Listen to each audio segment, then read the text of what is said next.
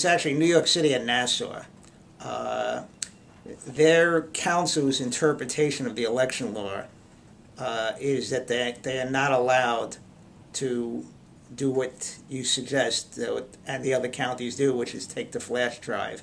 Uh, the first thing to understand, these are the unofficial results. Uh, the official results are actually gotten by taking the flash drives and getting them off the machines.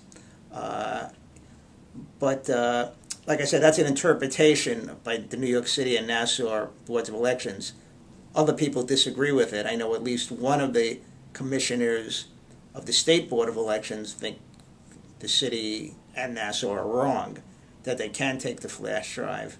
Uh, I think the dispute has to do with the election law says what New York City and Nassau have to do, uh, which is do a manual count by however they way to do it. Before we had these electronic machines, we had lever machines, and they didn't print out anything. They they just li- literally read it off the machine. When once the machine was opened, under each candidate's name, the number of votes they got was on there.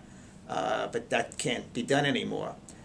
Uh, the people who think the board of election, the city board of elections, legal authority is wrong is that they're misunderstanding what you have to do and what you can do. I mean, some people think, yeah, you have to do this, do that whole handwritten thing, but you could also take the flash drive and go to the bring it to the board of elections and get a quick, more likely to be accurate number. It is true; they they are correct that the the state election law does specifically say how New York City and Nassau can count their votes on primary night and election night, and they don't say that for the other counties, which I was pretty surprised to hear. But then I checked, and it's true. Uh, but like I say, there is a the other argument is yes, you have to do this, but you could also do other things to get a more accurate unofficial count. And that's the thing I think that people haven't stressed enough that these numbers are unofficial.